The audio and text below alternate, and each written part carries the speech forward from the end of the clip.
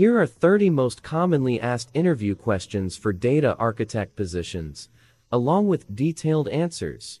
1. What is a data architect, and what are their responsibilities? Answer. Data architects are responsible for designing, creating, deploying, and managing an organization's data architecture. They ensure that the data architecture aligns with the organization's goals and objectives, while meeting requirements for scalability, security, and performance.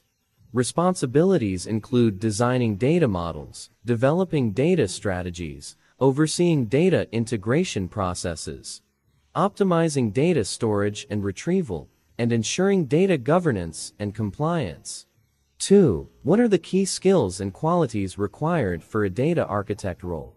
Answer. Key skills and qualities for a data architect include a strong understanding of database management systems DBMS, proficiency in data modeling and schema design, knowledge of data warehousing and ETL processes, expertise in SQL and other query languages, familiarity with big data technologies such as Hadoop, Spark, proficiency in data visualization tools like Tableau, Power BI, excellent problem solving and analytical skills, strong communication and collaboration abilities, and a deep understanding of business requirements and objectives.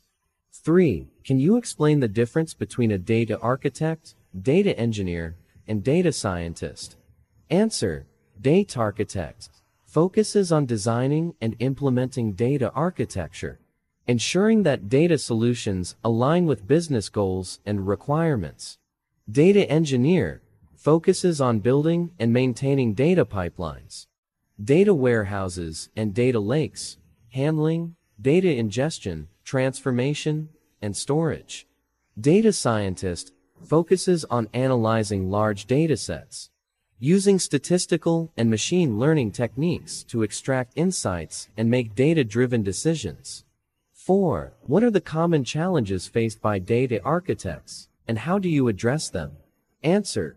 Common challenges include managing data complexity, ensuring data quality and integrity, dealing with evolving business requirements, integrating disparate data sources, ensuring scalability and performance, addressing security and compliance concerns, and keeping up with emerging technologies. These challenges can be addressed through comprehensive data governance practices, robust data modeling techniques, effective collaboration with stakeholders, leveraging automation and AI technologies, and continuous learning and adaptation. 5. How do you approach designing a data architecture for a new project or system? Answer. The approach involves understanding business requirements, analyzing data sources and formats, identifying key stakeholders and their needs, defining data entities and relationships, choosing appropriate data storage technologies and architectures, relational databases, NoSQL databases, data lakes, designing data pipelines for data ingestion, transformation, and storage, ensuring scalability, performance, security, and compliance, and documenting the architecture for future reference and maintenance. 6. What is data modeling, and why is it important in data architecture? Answer. Data modeling is the process of creating a visual representation of the data structure, including entities, attributes, relationships, and constraints. It is important in data architecture because it helps to understand and define the structure of the data, facilitates communication between stakeholders, ensures data consistency and integrity, guides database design and development efforts, supports data governance and compliance, and provides a blueprint for implementing and maintaining data solutions.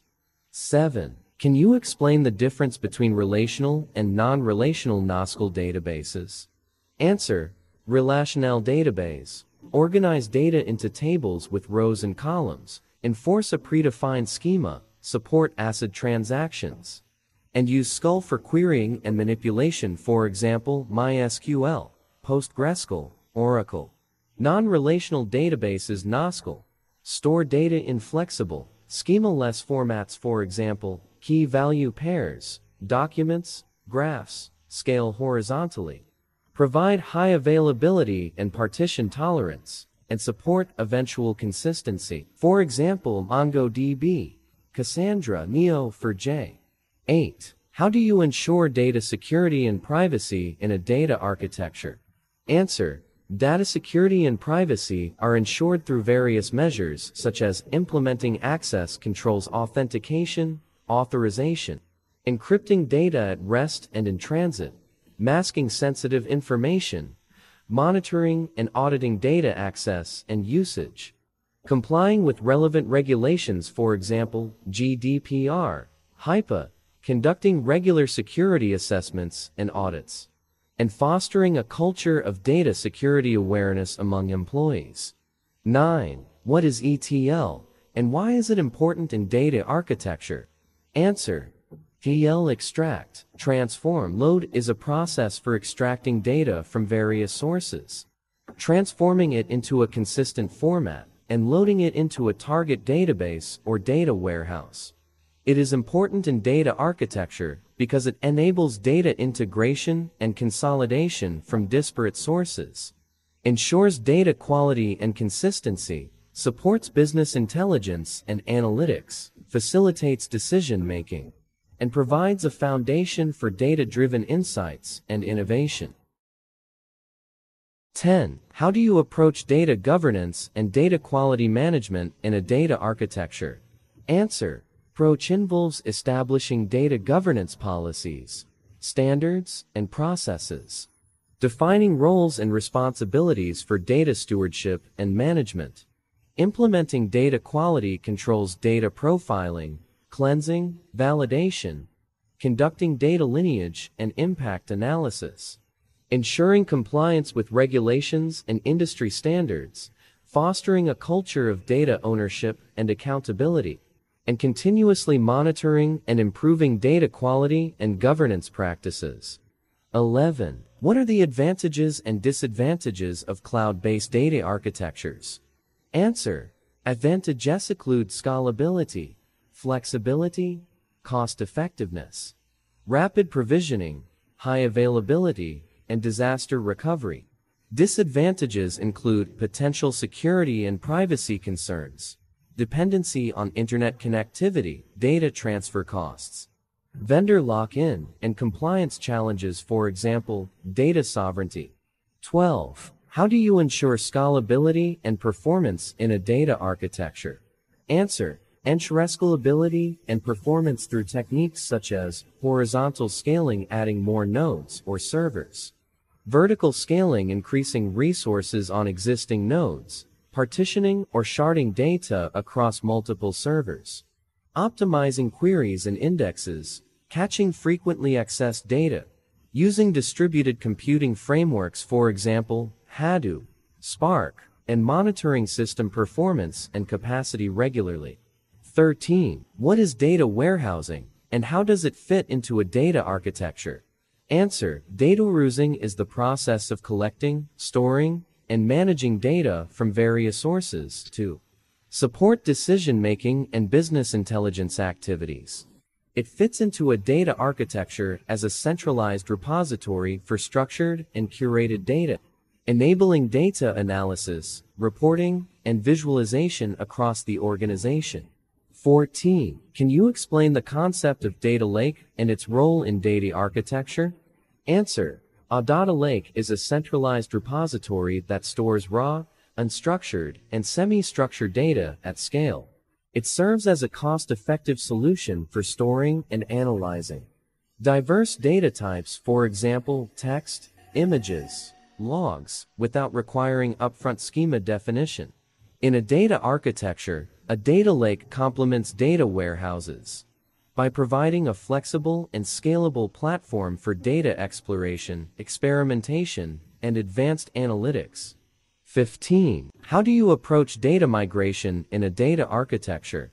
Answer. Approach involves assessing existing data sources and target systems, defining migration requirements and success criteria.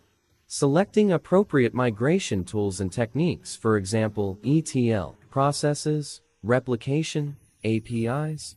Ensuring data consistency and integrity throughout the migration process, conducting thorough testing and validation coordinating with stakeholders, and monitoring performance and resolving issues during and after migration.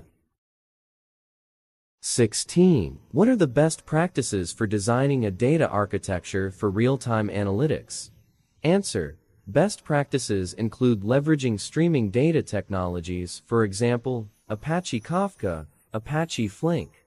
Designing event-driven architectures, implementing microservices for real-time data processing and analysis, ensuring low-latency data ingestion and processing, optimizing data storage and retrieval, adopting scalable and fault-tolerant systems, and integrating real-time analytics with existing data pipelines and workflows.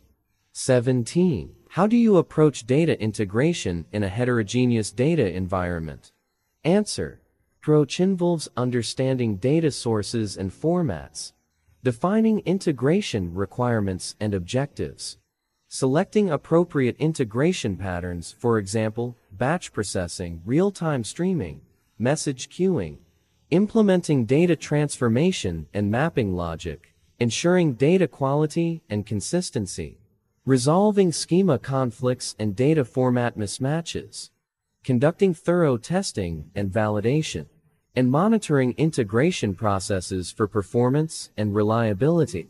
AT. Can you explain the concept of Master Data Management MDM and its role in data architecture?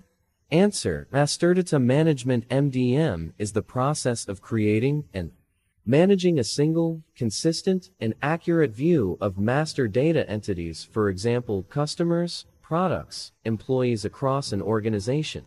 It plays a crucial role in data architecture by ensuring data consistency, integrity, and quality, reducing data duplication and redundancy, facilitating data governance and compliance, and enabling better decision-making and business insights. 19. How do you ensure data lineage and traceability in a data architecture? Answer. Ensure data lineage and traceability through metadata management, documenting data flows and transformations, capturing lineage information at each stage of data processing, implementing data lineage tools and solutions, establishing data quality and governance processes, conducting regular audits and reviews, and providing transparency and visibility into data lineage for stakeholders and regulators. 20. What are the considerations for designing a data architecture for regulatory compliance? For example, GDPR. HIPAA. Answer. Consideration cycle ensuring data security and privacy. Implementing access controls and encryption, auditing and monitoring data access and usage. Documenting data processing activities and consent mechanisms, establishing data retention and deletion policies, conducting impact assessments, providing data subject rights for example, access, rectification, erasure, and collaborating with legal and compliance teams to ensure alignment with regulatory requirements. 21. How do you approach data visualization and reporting in a data architecture? Answer approach involves identifying reporting requirements and key performance indicators KPIs. Selecting appropriate visualization tools and techniques, for example, dashboards, charts, graphs. Designing intuitive and interactive user interfaces. Integrating data visualization with analytics and business intelligence platforms. Ensuring data accuracy and consistency and empowering users to derive insights and make data-driven decisions. 22. Can you explain the concept of data federation and its role in data architecture? Answer. Data federation is the process of integrating data from multiple sources in real time or near real time without physically consolidating the data into a single repository. It plays a role in data architecture by enabling virtual integration of disparate data sources, providing unified access to distributed data, reducing data duplication and latency, and supporting agile and flexible data consumption and analysis. 23. What are the challenges and best practices for managing and structured data in a data architecture? Answer. Challenges include extracting meaning and value from unstructured data for example, text, images, videos.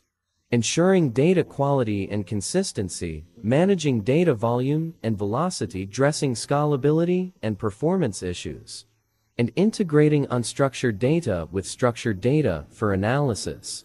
Best practices include implementing text mining and natural language processing techniques, leveraging machine learning for content analysis and classification, using distributed storage and processing technologies, and adopting metadata management and indexing strategies.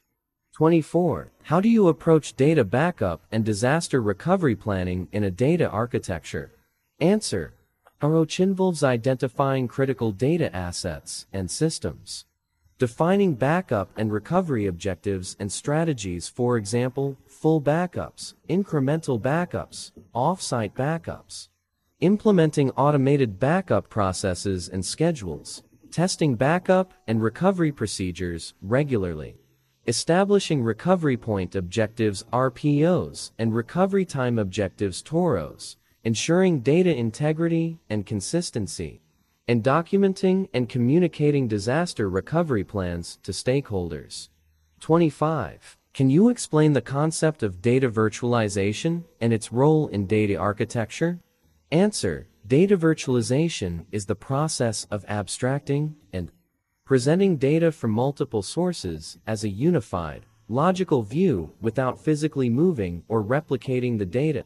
It plays a role in data architecture by providing a layer of abstraction between data consumers and underlying data sources, enabling real-time access to distributed data, reducing data duplication and complexity, and supporting agile and flexible data integration and analysis. 26. What are the considerations for designing a data architecture for machine learning and AI applications? Answer. Consideration cycle data quality and integrity. Feature engineering and selection, model training and evaluation. Scalability and performance of data processing pipelines, interpretability and explainability of models. Deployment and monitoring of ML models in production environments. Regulatory compliance, for example, GDPR, bias and fairness and collaboration between data scientists, engineers, and domain experts. 27. How do you approach data lifecycle management in a data architecture? Answer. Approach involves defining data lifecycle stages for example, creation, storage, usage, archival, deletion. Establishing data retention policies and schedules, implementing data classification and tagging mechanisms. Automating data lifecycle management processes for example, data expiration, purging, ensuring compliance with regulatory requirements and business policies, and optimizing storage and processing costs. 28. What are the considerations for designing a data architecture for IoT Internet of Things applications? Answer. Consideration cycle data ingestion and processing at scale, real-time data streaming and analysis, device connectivity and interoperability, edge computing and fog computing architectures, security and privacy of sensor data, data latency and bandwidth constraints, data integration with existing systems and workflows, and compliance with industry standards and regulations, for example ISO or IEC 27000 series, NIST Cybersecurity Framework. 29. How do you approach data privacy by design and default in a data architecture? Answer. Approach involves integrating privacy principles for example, minimization, purpose limitation, transparency, accountability, into the design and implementation of data systems and processes, conducting privacy impact assessments, implementing privacy enhancing technologies PETs such as anonymization, pseudonymization, and differential privacy, adopting privacy preserving architectures for example, zero trust architecture, decentralized identity, and promoting a privacy-aware culture across the organization. 30. How do you stay updated with the latest trends and technologies in data architecture? Answer. Stay updated by attending conferences, workshops, and webinars, participating in professional networking events and forums, reading industry publications and blogs, following thought leaders and experts on social media, enrolling in online courses and certifications, experimenting with new tools and technologies through personal projects or proof of concepts, joining user groups and meetups, and collaborating with colleagues and peers to share knowledge and best practices. In conclusion, a data architect plays a vital role in designing and managing data architecture to meet the needs of modern organizations. They navigate complex challenges such as data integration, security, scalability, and compliance, while leveraging a diverse toolkit of skills and technologies. By staying abreast of industry trends and best practices, data architects ensure that data remains a strategic asset, driving informed decision making and innovation within the organization. For more exciting tips, tricks, and more importantly, for valuable insights of interviews, please share, like, and subscribe to my channel. It has a lot of valuable information about various insights of interviews. It has a wide range of real-world portfolio projects of various technologies for interviews, and it has wide range of most asked interview questions and answers of various technologies like data science, SAP, AWS, DevOps, and full stack web development and more. That will be useful during interviews. It has a wide range of most asked interview questions and answers and real-world portfolio projects of various technologies for freshers.